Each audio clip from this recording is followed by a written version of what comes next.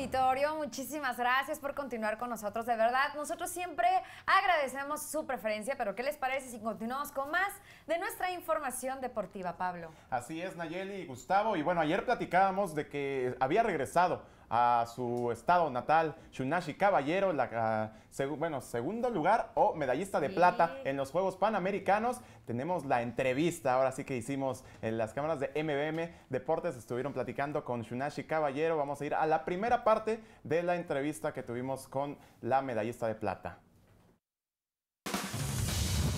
MBM Deportes tuvo el gusto de platicar con la medallista en Juegos Panamericanos, Shunashi Caballero. La karateca oaxaqueña seleccionada nacional habló sobre el camino tan difícil por el que tuvo que pasar en los últimos años. Del 2012 o 11 para acá eh, me quedé sin entrenador. Este, mi entrenador se llama Jorge Laurencio, es de Cuba, que fue el que me llevó a los Juegos Panamericanos de Guadalajara. Al quedarme sin él por un momento de depresión, busqué a muchos maestros, busqué a muchos metodólogos, nada, al final no me acomodaba y decidí estar sola. Decidí con mi, con mi hermana, mi, mi entrenador me mandaba las cosas y me dijo, si tú quieres, lo vas a hacer. Yo no voy a estar para levantarte a las 6, 7 de la mañana que tengas que ir a entrenar. Yo no lo voy a hacer, pero yo sé que tú lo puedes hacer. Estaba mi hermana, gracias a Dios, y de repente em, llegaron mis alumnos, empezaron, empecé a tener un equipo y fue, fue, fue complicado, al principio fue muy complicado. Al final la preparación fue muy fuerte. También comentó sobre los últimos meses donde tuvo que trabajar al máximo para llegar plena a Toronto. Ya la recta final de los juegos, que fue los últimos, seis meses, fueron muy fuertes físicamente, fueron muy fuertes. Eran golpes diarios, diarios. Y mi hermana, que de verdad estoy muy, un poco lesionada de todos lados. Ya fui al doctor, ya me dijeron que no hay ningún problema, solo era pues de la actividad diaria, pero que en 15 días, en un mes yo puedo salir sin problema de las lesiones. Entonces, yo creo que fue físicamente fue difícil porque era estarte pegando todos los días y estar corriendo y haciendo. Y entonces... Shunashi sabía que al estar ya en Toronto tenía que disfrutar al máximo, pues sabía lo preparada que estaba. Antes de pasar a pelear dije todo lo que sufrí y que nadie me regaló estar acá, lo voy a sacar. Y no me importa perder, pero yo voy a disfrutar esto como nunca. Y de verdad, hasta veo las fotos y siento que no soy yo. De verdad, porque nunca mi expresión había sido de, de tanta satisfacción en hacer un punto. Siempre cuidándome, ganar, cuidándome, pero no, esta vez dije yo voy a, de verdad, mi estrategia era a ganar. La cosa es ganar. La cosa es tirar al 100 y que Dios quiera lo que vaya a pasar, que Dios quiera, pero tú vas a disfrutar esto que nadie más, tal vez tenga la posibilidad en cuatro años, pero tal vez no. Disfrutar un escenario de esa magnitud.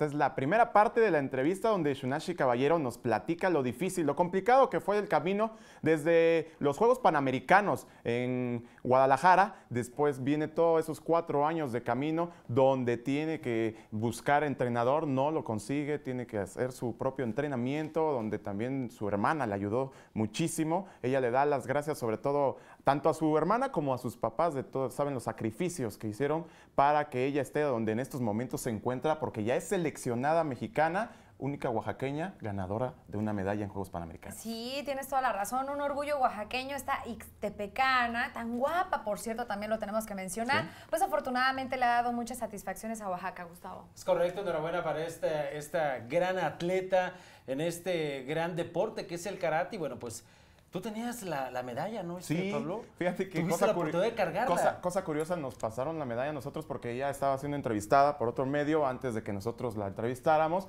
Me pasaron la medalla, la tuve en las manos, una medalla tremendísima, no, súper bonita. bueno, ahí tuvimos la oportunidad de tomarla. Qué honor, qué honor, Pablo. No, ya lo pensé, pero después dije, no, no, no, no, no, hay que Bueno, pues ahí está la, la información. bueno, pues, eh, ¿qué te parece, Pablo Reyes? Y miren mis ojitos. Venga, venga. ¿De qué voy a hablar? Del béisbol, Ah, pues pues sí. nada más, nada menos. Pero nada más y nada menos que los guerreros de Oaxaca regresan una vez más a las andadas. Perdieron el día de ayer ante Leones de Yucatán. Acompáñenos a esta información. Los guerreros de Oaxaca caen en el Vasconcelos ante los Leones de Yucatán y emparejan la serie a un juego por bando. En una muy mala salida del abridor bélico, Sergio Valenzuela, quien solo lanzó una entrada completa, recibiendo seis carreras con seis imparables, uno de ellos cuadrangular. En un encuentro en el que los melenudos se despacharon con la cuchara grande desde el inicio, haciendo tres carreras en la primera entrada, cuatro en el segundo capítulo y tres más al abrir el cuarto rollo, ante los disparos de Sergio Valenzuela y de Daniel Guerrero, quienes terminaron llevándose 10 carreras en contra. Por su parte, la tribu intentó reaccionar, poniendo números en la pizarra en la segunda y cuarta entrada. Ya cuando el marcador se encontraba 10 a 3, llegó una más para los visitantes en la séptima. Y para el cierre de la novena, Guerreros descontó con una carrerita más para poner tirilla final de 11 carreras por 4. A la ofensiva lucieron los maderos yucatecos. Jesús Valdés, Luis Alfonso García, Ricardo Serrano y Héctor Jiménez conectaron cuadrangular. El pitcher ganador fue Joan Ernegrín, lanzando seis episodios donde le hicieron tres carreras y le conectaron siete imparables. Con la derrota, los guerreros de Oaxaca vuelven a tener récord negativo con 51 victorias y 52 derrotas. Se mantienen en la tercera posición, un juego delante de los Pericos y a dos y medio de los Piratas de Campeche que ya se metieron a la pelea. Para el último juego de la serie está pactado el duelo entre Demetrio Gutiérrez y Alejandro Soto. Informó para MMM Deportes Pablo Vázquez. Bueno, pues ahí está este gran resultado que no favorece nada al equipo de los Guerreros de Oaxaca. ¿Por qué? El equipo de los Pericos de Puebla el día de ayer estaba igual jugando un gran encuentro, estaban en la parte baja de esta novena entrada, eh, parte alta de la novena entrada, parte baja de la novena entrada, ya estaba a un out del equipo de los Tigres derrotar al equipo de los Pericos de Puebla. Pero ¿qué pasa? Venía Sandy Madera con dos outs en la pizarra, mete cuadrangular, se empata el juego y Pericos de Puebla en la décima entrada, con un batazo de fly de sacrificio de Miguel Tejada, le da el triunfo a los Pericos de Puebla y esto mantiene pues en su momento al equipo de los Pericos Puebla en esa cuarta posición. Y los Guerreros de Oaxaca, cuidado, se encuentra todavía en tercer lugar, pero como escuchamos la información de Pablo Vázquez, Campeche se mete peligrosamente a la pelea. Pablo. Exactamente, Gustavo Nayeli. Y bueno, también es- está la pelea entre los dos primeros lugares, tanto Tigres como Leones de Yucatán. Ahora los Leones pasan a la primera posición, Tigres vuelve a bajar medio juego. Guerreros de Oaxaca, lo decíamos, tiene que mirar hacia arriba, nunca ver los de abajo, porque si no, se va a quedar en la cuarta o la quinta o a ver hasta dónde llegan estos Guerreros de Oaxaca. Venga. es, tienen toda la razón, pero yo también tengo que presumirles, pues fíjense que el presidente deportivo de Pumas, Antonio Sancho, habló en exclusiva para las cámaras de MBM Deportes. Ven, escuchen lo mismo, pero ¿qué les parece si vamos a ver la siguiente entrevista? Buenas tardes amigos de MBM Deportes. Nos encontramos con verdaderamente una institución dentro del cuadro del Club Universidad, un excelente medio de contención y sobre todo un gran directivo y una gran persona. Toño Sancho, ¿cómo te recibe Oaxaca? No, muy bien, como siempre, eh, de maravilla, este, una gran afición, eh, una gran institución que aparte han hecho muy bien las cosas y siempre tienen las mejores atenciones para nosotros. Toño, parece que Pumas este, ha encontrado el camino, la mística, hicieron un muy buen partido contra Monterrey. En Toluca, un excelente segundo tiempo, solo faltó un poquito de contundencia. Sí, bueno, eh, vamos paso a paso, ¿no? Creo que tuvimos un buen inicio contra Rayados, contra Toluca, creo que el primer tiempo no fue el mejor. El segundo tiempo, como dices, creo que el equipo mostró carácter, eh, pudimos haber anotado otro gol, también ellos nos pudieron haber hecho un tercero. Pero bueno, la idea es que el equipo eh, encuentre esa regularidad, seguir eh, manejando esa constancia, esa intensidad, que es lo que queremos. Y bueno, pues que el equipo vaya para más, ¿no? Sabemos que todos los puntos son importantes, ahora nos toca otra visita. Y bueno, pues a pensar que tenemos que ir a sacar un buen resultado a Puebla, ¿no? Eh, la alineación de hoy de Memo Vázquez es, eh, combina un poco del cuadro de titular con, con un poco de- del cuadro de, de suplentes. Esto es para que entren en ritmo, algunos que no habían estado, digamos, de una forma óptima. Eh, sí, como hemos dicho, la Copa bueno es para que juegue nuestra gente joven, eh, con algunos de experiencia, que bueno que, que Memo sienta que, que todavía les, ha- eh, les hace falta algo de ritmo, o jugadores que no han podido tener eh, la participación que quisiéramos en la liga, tienen la participación en la Copa y pues con la intención de que se muestren para que también tengan oportunidades en la liga, ¿no?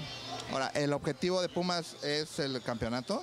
El objetivo de Pumas primero, bueno, es, como te digo, ir a partido a partido. La idea es hacer 26 puntos, como lo dijimos desde el principio. ¿Por qué 26 puntos? Bueno, pues porque eso nos aleja un poco de la parte porcentual, que pues ahí estamos. Y la otra, bueno, yo creo que con 26 puntos calificamos, ¿no? Para pelear por, por cosas importantes. Ya pasando a otra cosa, pareciera que Pumas es el local. Sí, bueno, sabemos la afición que tenemos. Este, la verdad es que nos siguen a todas partes. Sabemos que aquí en Oaxaca también tenemos mucha afición, más los que vienen de México, ¿no? que siempre la porra eh, nos sigue. Entonces, bueno, pues qué bueno, ¿no? Que, que tenemos una gran afición. Ahora hay que, que tratar de hacer un buen segundo tiempo para llevarnos la victoria y brindársela a la gente, ¿no? Ahora, trabajaste con la institución de Tigres. ¿Nervios por la final? Claro que sí, ¿no? Y pues por ahí dicen todos somos tigres. Por supuesto, ¿no? Mucho tiempo ahí en la institución. Este, pues creo que se ha trabajado muy bien. Eh, creo que es un, eh, un proyecto que lleva tiempo y pues ojalá hoy se pueda coronar con ese título que todo México quiere, ¿no? ¿Algo más te quieras agregar, Toño? Nada, muchas gracias. Este, como digo, gracias a Oaxaca porque siempre nos reciben muy bien, ¿no? Para MB Deportes, Alfredo Canseco. Ahí están las palabras del presidente de Pumas, el presidente deportivo Antonio Sancho, que la verdad, pues quiero mencionarles que es ídolo de eh, nuestro productor, compañero y amigo ¿Ah, sí? Alfredo Canseco. La verdad es que fue un gusto y un honor eh, haber estado en esa entrevista y aparte se portó fabulosamente. Vi muy emocionado Alfredo Canseco, este, pues como lo comentas, ¿no? Qué padre es cuando tienes a un ídolo tan cerca y, y tú le haces la entrevista, la verdad.